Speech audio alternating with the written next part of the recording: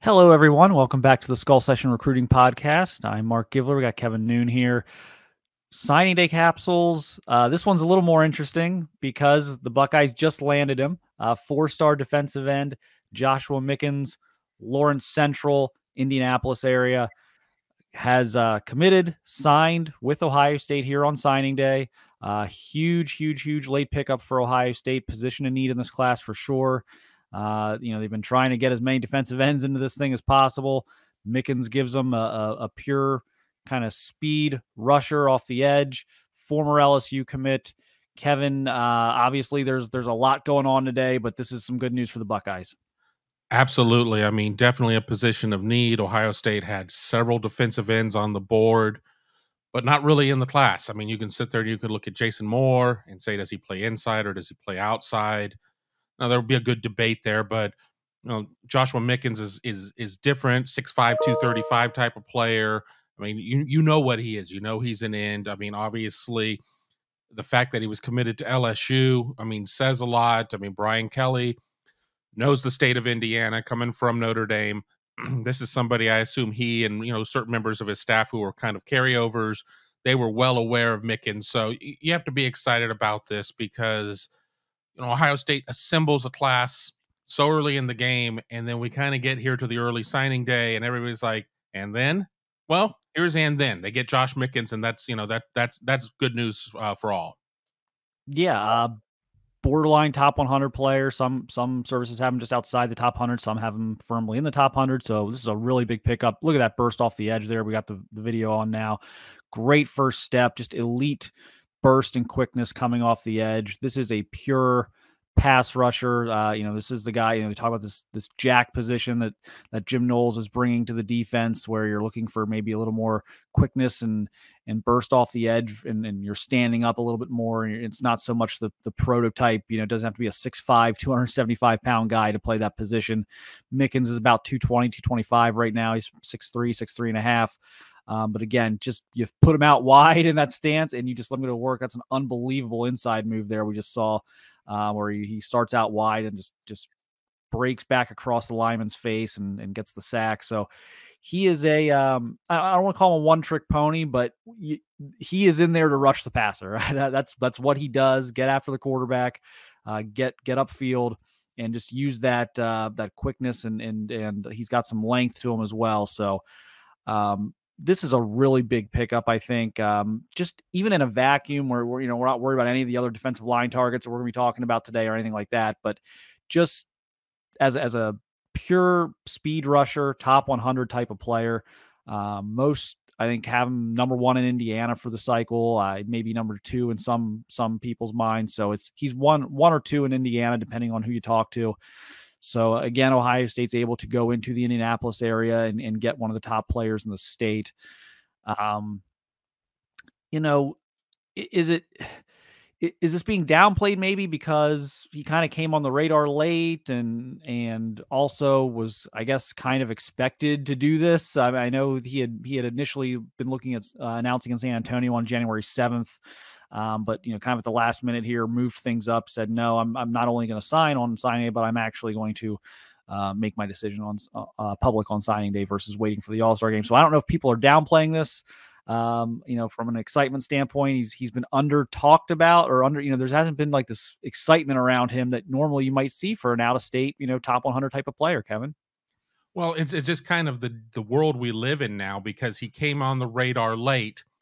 People assume that he was some sort of plan B. And when you have a guy that is like borderline top 100 depending on which side of the of that 100 you have him on, that's not a plan B guy. Um but you know there was a lot of excitement about some other names out there and it's just like okay, well now he's on here. I mean, what does what does that mean for everything else? Well, you know, it, it's it's kind of difficult sometimes for people to really keep their expectation uh, expectations in check, but uh this is, I mean, somebody that I think that as soon as you put in the tape and you watch that first step, you watch his get off, you see his ability to get to the quarterback, the ability to get home, which is something that Ohio State fans have, you know, really had, you know, an issue with. Ohio State has been just this close to getting a bunch of sacks, even though Ohio State is third in the Big Ten with 32 sacks in in 2022. Uh, you know, a fact that just goes a little bit underreported. But you know, Mickens is somebody that I think once people become really familiar with the recruiting class, go through and read, you know, superlatives and all of those types of things that'll come out here in the coming days uh, here at Buckeye Huddle. Uh, I think people will feel a lot better about this one because I mean he's an exciting player. Yeah, I think I think if he had been on the radar more, maybe over the summer, um, versus just kind of popping up on the radar here like October, November, I think maybe people have a different take. I mean, Ohio State clearly started recruiting him a few months ago. They they started watching the senior film. It became apparent, you know, he may not want to stick with that LSU commitment. Maybe looking uh, at playing closer to home.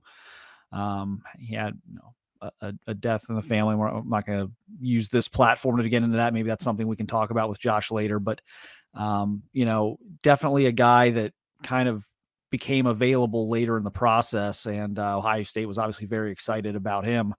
Got him on campus twice in November. Uh, decommitted from LSU, and then from then on, it just it felt like it was going to be Ohio State kind of the whole way. There were some other schools involved, but you know, just it just looked like this was going to be uh, the move for him. You know, again, they need these types of guys. We've talked about it with others like Damon Wilson. We we've talked about the need for this pure speed rusher off the edge. And, you know, they've got a lot of the big framed, big bodied guys who are, you know, kind of good at the point of attack and you know, they're they're getting hurries and everything else. But this is kind of that Dwight Freeney esque, you know, to use a Indianapolis Colt reference for for Josh since he's from Indianapolis. Um, you know, put a hand in the dirt and go get the quarterback. So I think this is an underrated pickup. I think people need to be excited about this one. I, I just looked and, and I think On3's got him now in the top 60 uh, in the country. So he's like a borderline top 50 player for them. So this is a this is a really big pickup.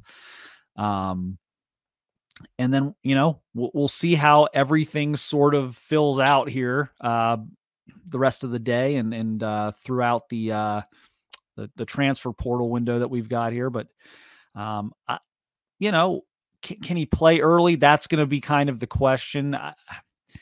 he, he's awfully thin right now, and he's never going to be 270 or 275, but it might take a little bit. I think he's going to have to put on at least 15 pounds probably to to get to a weight where it's going to make sense to kind of play him out there on the edge.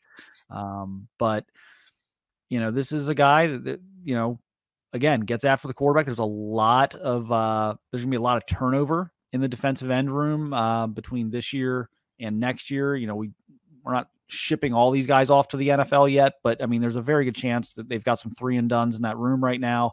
Uh, they're going to lose Zach Harrison. They're going to, you know, so there's there's going to be time available. I mean, what do you think maybe his realistic path to the field is? No, I I think that he's somebody that you know, putting on my you know my my my prognosticator hat. Um, you know next next season's going to be challenging in some ways due to some departures on the team. It's not going to be an easy schedule, but the way that the Big Ten is is that there's still going to be you're still playing Rutgers and you're still playing Maryland and you're still playing some of these teams, and there's going to be time for him to get out there and play with the threes or the twos or depending on where he's at. Now, also have to remember that Larry Johnson likes to roll lots of players in and out of the lineup. Uh, it, a lot of it's going to be on uh, Josh, uh, on on Josh to see what you know what how far along he takes it if he's ready to go in year one. Let's remember JT Tuimoloau committed to Ohio State on the fourth of July. didn't didn't get on campus until August, and he was playing in September. Uh, obviously, you know JT had the summer to to lift, and I mean he's just a freak. I mean that's just what he is. Um, so I'm not saying that for for Josh Mickens that he's going to be able to you know pencil him in in game two of the season, but there's going to be op- opportunities out there, and you you do well, and then you you carve stuff out. I mean, it's it's one of those situations of where we've we've seen guys come out. Caden Curry got himself some time here in 2022. I mean, not necessarily a lot of time with the ones, and he's somebody uh, that's undersized for his position, and and he still managed to get out there. So I, I could see something very similar to Caden Curry, if not even maybe a little bit more. Yeah, there's going to be opportunities. There's going to be competition in that defensive line rotation, I think, in the spring and in, in, in, moving into the summer, fall camp. And so it's going to be interesting to kind of see which of these guys that they're bringing in can kind of carve out a, a rotation role because that is one position where you can get on the field early. You can be in the two deep and get get some run. You know, they want to roll these guys. You want to roll eight. Uh, sometimes to the chagrin of the fans, who I think want to see certain guys play 90% of the snaps and maybe not so so much of a equal opportunity uh, setup. But um, this is a spot where you can come in and situationally um, get some time. So it'll be interesting. This will be a guy I think it'll be super important in this class because there's been so much made of defensive end recruiting, defensive line recruiting in this class. Um, you know, we're going to be watching these guys for, you know, the guys they're getting today and the guys they they came up short with, you know, over the last couple weeks we're going to be watching all these guys the next three years, and you know, you know the the the hindsight factor is going to come into play with all of this, and you know, is you know, did, did Ohio State get the best of this, or you know, did they, you know, did better guys get away from them, and kind of did they were they able to replace them with with capable players, and so that's going to be a huge thing, I think, the next two or three years as people kind of agonize over this class. So uh, he'll be an interesting guy to watch. But I said I really like him. I think again, I think people would be. Um, I think there would have been a lot more excitement around this announcement had he been on the radar, you know, six months ago versus six weeks ago. Um, but it is what it is. Uh, a really talented, athletic player, um, and and should should be a really good pass rusher for the Buckeyes moving forward.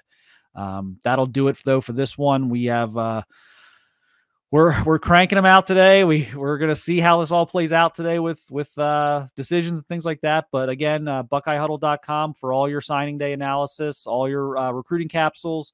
Uh, YouTube.com slash Buckeye Huddle for the videos and for our uh, live signing day show. And uh, you can also uh, download these in, in, podcast form on your podcast platform of choice. But um, thanks everyone for watching. Thank you for listening, and we'll catch you on the next one.